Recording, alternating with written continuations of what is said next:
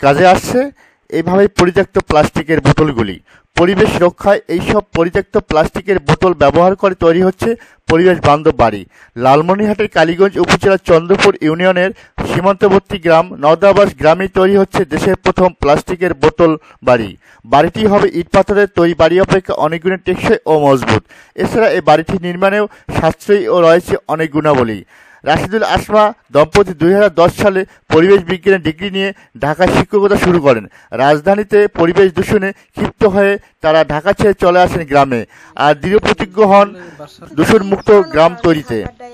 বোতল দিয়ে পরিবেশ বান্ধব এবং টেকসই একটি বাড়ি তৈরি করা যায়।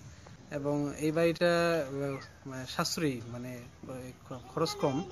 এবং কিছু এই বাড়িটার বৈশিষ্ট্য আছে, যেমন এটা ভূমিকম্প প্রতিরোধী, এবং শীতকালে বাইরে গরম থাকবে এবং গরমকালে ঠান্ডা থাকবে। কারণ এই বোতলের ভিতরে বালু ব্যবহার করা হয়েছে, এই বালুর জন্য। বালুর ধর্ম হলো যে বালুটা তাপ শোষণ করে। ঠান্ডা শোষণ করে না এবং গরমটা শোষণ করে না। এগুলা তো ওয়েস্ট এক ধরনের ওয়েস্ট এগুলা। এগুলা ব্যবহার পরে, এগুলা ব্যবহার করার ফলে এগুলো ফেলে দিচ্ছে, পরিবেশ দূষণ হচ্ছে। এই বোতলগুলো যদি সংগ্রহ করে, তারা নিজেরাই লেবার দিয়ে যদি বালু ভরাট করে কিছু সিমেন্ট ক্রয় করে এগুলা তারা একটা বাসা করতে পারে, কম খরচেই তারা করতে পারবে। এই উদ্দেশ্য, এ- এটা আমার উদ্দেশ্য ছিল যে আমি সবাইকে আহ্বান করব যে যারা এইভাবে একটা পরিবেশ বান্ধব একটা বাড়ি তৈরি করতে পারে।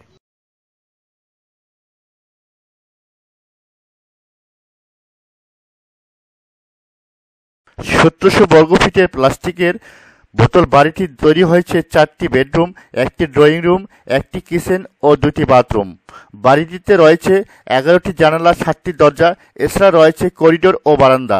গেল আড়াই মাস ধরে বাড়িটি নির্মাণ কাজ করছেন চারজন রাজমিস্ত্রি, আটজন শ্রমিক। বাড়িটি নির্মাণে মাটির নিচে দেওয়া হয়েছে তিন ফিট ও দুই ফিট প্রস্থের ভিত্তি।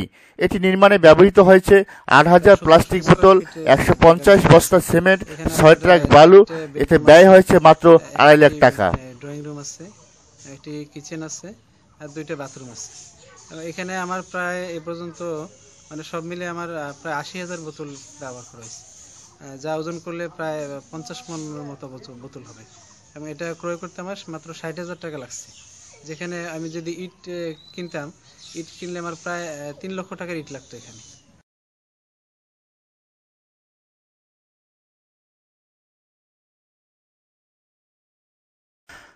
বিভিন্ন স্থান থেকে সংগৃহীত এক লিটার, হাফ লিটার ও দুশো পঞ্চাশ মিলিগ্রামে কন্টেইনার পরিত্যক্ত প্লাস্টিক বোতলে বালু ভর্তি করে সিমেন্টের সাহায্যে নির্মাণ করা হয়েছে দেয়াল।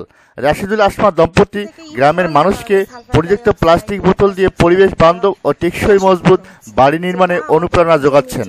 গাছের জন্য, প্রকৃতির জন্য ক্ষতিকারক। আর এটা ইট থেকে দশ গুণ চেয়েও বেশি শক্তিশালী। কারণ ইটের থেকে ইটের যে মেকানিজম ওটার থেকে এই বোতলের মেকানিজম অনেক হ্যাপি শক্তিশালী। এখানে বালি ভরার পর ওই জিনিসটা আরও বেশি শক্তিশালী হয়ে যায়। তারপরে এটা যখন কনস্ট্রাকশন করা যাবে, তখন আরও বেশি শক্তিশালী হবে। প্লাস আবার এটা বলতে পারেন বুলেট প্রুফ বুলেট প্রুফ কেন? বালির ভেতরে কিন্তু বুলেট কিন্তু আটকা পড়বে। এই বালি, এটা এত মানে শক্তিশালী হয়। সব দিক থেকেই দেখছি যে এটার মতো বেটার আর নাই। তার চেয়েও বড় কথা, এটা আর্থিক দিক থেকেও সাশ্রয়ী। গ্রামের প্রকৃতি, যে এখন গাছপালা, শস্য, আবাদ সাবাদ হচ্ছে, সেটা আস্তে আস্তে নষ্ট হয়ে যাওয়ার উপক্রম। সেটাকে ধরে রাখার জন্য মিনিমাম এখন কেউ ইটের বিল্ডিং না করে, ইট দিয়ে না করে তার বোতল দিয়ে করতে পারে। রিসাইকেলও হচ্ছে বোতলে। এই পরিত্যক্ত বোতল জমিতে মিশে যাবে না, কোথাও যাবে না, যেহেতু এটা পচে না, শত শত বছরেও পচে না।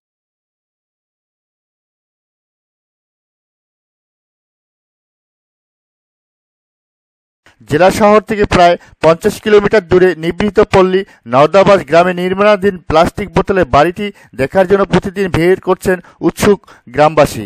বিভিন্ন গ্রাম থেকে লোকজন ওই গ্রামের মেঠোপথ দিয়ে উপস্থিত হচ্ছেন বাড়িটিতে। ঘুরে ঘুরে দেখছেন বাড়িটি। অনেকে নির্মাণের কৌশল, পদ্ধতি জেনে নিচ্ছেন রাশিদুল আসমা দম্পতির কাছে। আমাদের গ্রামের লোকজন প্লাস্টিকের বোতলগুলো ফেলে না দিয়ে তারা সংগ্রহ করছে এবং তারা ভবিষ্যতে যেন এরকম আরেকটা বাড়ি তৈরি করতে পারে। জীবনে প্রথম দেখা আমাকে খুব ভালো লাগল। হুম, এবং আশ্চর্য বোধ হচ্ছে। সবাই আর কি করতে চাইতেছে এখন? তো আপনার ছেলে করুক আগে আমরা দেখে পরে আমরাও করব। অনেক খুশি লাগতেছে। মানে বোতলের বাড়ি ভালো আমার খুব ভালো লাগে আর জীবনে এগুলো দেখিনি আর কি। বোতলের বাড়ি মানে খুব ভালো লাগতেছে। বহু দূর দূর লোক আসতেছে।